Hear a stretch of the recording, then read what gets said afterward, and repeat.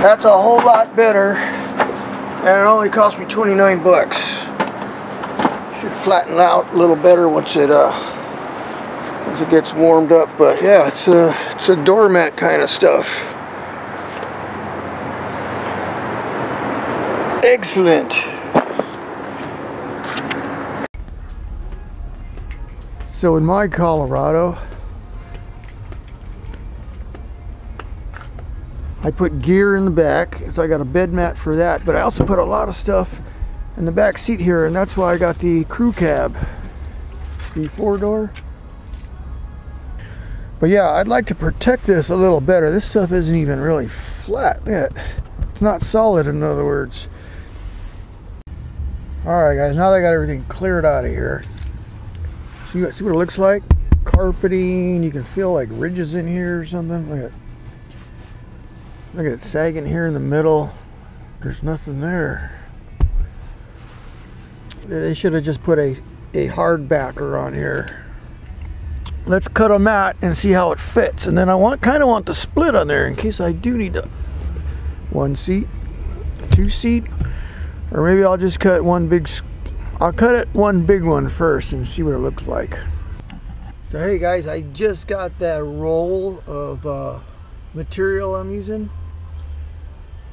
I just got out of the back of the truck and I noticed it's got like a rip in it. I'm like, what's what's going on here, right? So, all right, see if that works. It's getting late anyway, but yeah, I was ready to unroll it here. I'm like, what's this? I'm like, well, maybe it's just a, you know, I'm gonna cut it anyway, but look over here on this side. Oh, come on, man. Um, so there was a piece on here, but look at it. It's it's just it's crumbling. Bad product, not enough glue in the system there or something. Commercial mat. 4 by 6 Recycled rubber.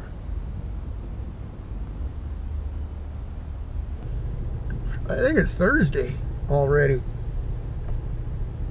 And uh, I was gonna do the bed mat thing for the back of my truck here. Put like a liner down on the back bench. It's not the seat because I got the seats folded down. That, that I got different ideas for that. I took the material back because it was just it wasn't they didn't have any more there. They did had one bundle, another roll there, but it was man, that was really bad. It was looked like it'd been there for a while. It was all dusty and the material was crumbling. So on to something else. I uh, I've been meaning to relocate the backup camera camera on this truck because the spare tire's in the way. So I had this idea, but I couldn't find the cable I needed. I needed six wires. It takes six wires. I'm just going to splice, cut the wire, and splice a longer piece in there. So I go, you know what? Let me try the RV supply. I mean, they do sell extension cables for a lot of these uh, uh, cameras, but I, they're different connectors and they're kind of expensive because the plug they got come with the plugs already so it has, depends on what camera you got and all that so. I saw them online Amazon and stuff like that. I go, all I need is a six wire cable. So went to the RV supply and this is what they got. This is perfect. It's heavy duty. It's got a big uh, jacket on there that's what they call it the jacketing yeah it's a 14 gauge 14.6 it's rated for deep freeze down to minus 65 up to 176 degrees Fahrenheit. So that's what I need because this is going to go underneath the truck and then through the fender up to the top of the shell somehow. It's a little overkill. But this is what he had. 10 feet. Charged me like 19 bucks. Like I'll take it in because I really like that backup function on this camera when backing up because I can't see. I usually use my mirrors and hopefully nobody's back there, right? There's always some ding dong standing behind your truck.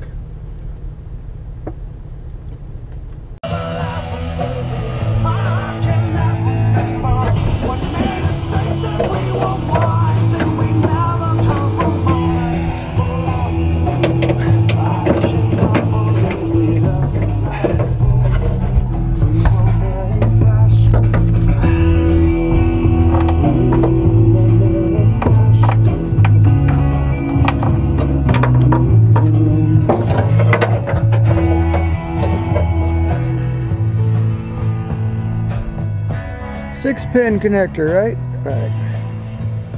There's the camera. It's screwed onto this little plastic thing, so I'm gonna leave it just like that. Got it? It's got the little eyeball in there.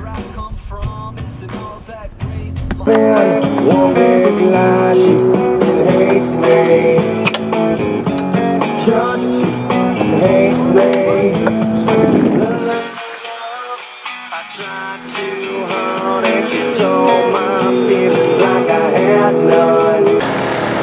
Alright guys, as usual, I'm out here, it's peaceful and quiet, and all of a sudden the freaking gardener shows up. But, uh, okay, so I need this connector to reconnect underneath the bed, right? So I separated that. This has a sheathing on it. So cut that off. So that separates from my camera, right? Give you a quick look here. I gotta, I gotta run to the hardware store now because this light is only on there by 3M tape. So I had the uh, double-sided tape, so I had to scrape all that off. And uh, yeah, mount it back. See, now I was gonna run the wire down into here and then through that hole. But look at this thing is like solid. So if I drill over here, there's nothing. I'd have to drill a couple holes, and I don't want to drill a bunch of holes into the light. So I'm gonna put that like that, and I'll have to put like a little hole right on the side here, just enough for the wire to fit through, and then I'll seal it up with some RTV or something. Alright guys, so what I found out so far, I had to go to the hardware store to get that 3M tape. If you don't know what the 3M tape is, there it is, double-sided, works real good. About six bucks. But this wire, see now that I got it opened up here, is a special wire. It's shielded. That's what this little foil is in here. And the ground, see like a ground strap running through there. So this may work, this may not. You know, this is for to keep down the interference. It's just shielding. It's wrapped in that foil. So we'll take a shot and see what it does, what happens, right? Although this is heavy duty, this is not shielded. So, so before I solder the ends on or the camera on, I need to get the cables through the fender here. So if you go inside here, this is this is how they wired it from the camper supply place. The where I go, Snow Valley Campers, where I got this from. Ran it through that little hole, so I'm going to run my cable through that little hole. And then it comes out through here, and they got it spliced onto the brake light, right? And a ground. So there's my wire, got that in. This is a pain to get in because it's such a fat wire. And it's actually boxed in there. It's a boxed out area. From the inside, this is boxed inside. There's a little hole in the bottom.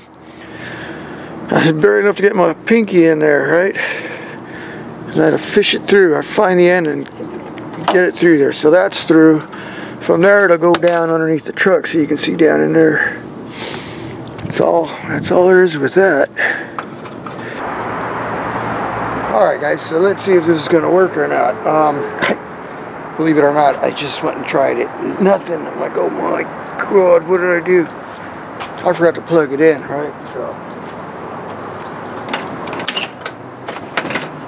I heard it was getting dark on me, but uh, yeah, I, the connector underneath the bed there, I haven't plugged it in yet, so I think I'll be okay. And I still need to mount the camera, but before I glue it down, I'm going to use the 3M tape. I better make sure it works, right?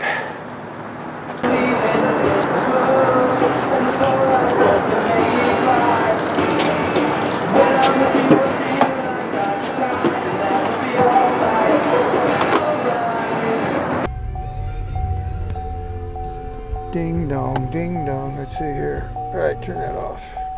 Camera. Yeah.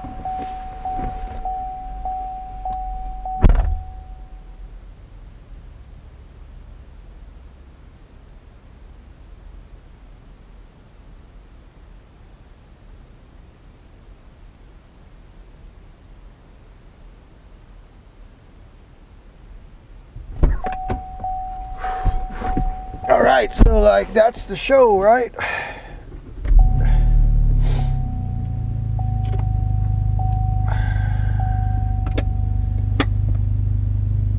Let's back it up. Beep, beep, beep. Back it up. Oh, those are the lights. See, the brake lights are giving it some kind of romantic red glow.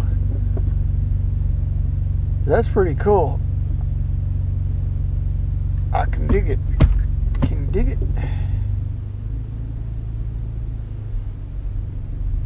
At least I can tell what's behind me now. Before it was like just look out the mirrors and hopefully nobody's back there.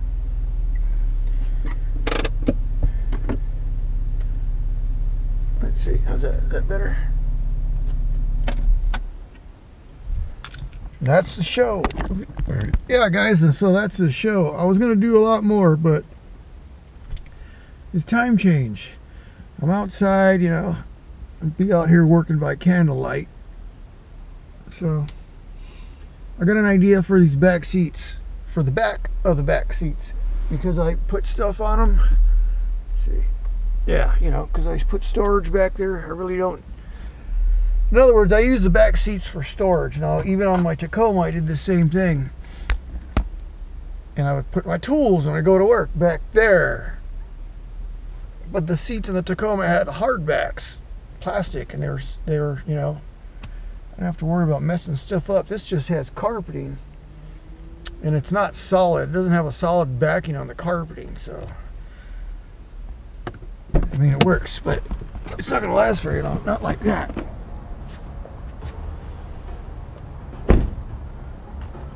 So I got some MDF board right here. And I was thinking of doing something with this on the back of the seats. It might work, it might not, you know, we're gonna find out.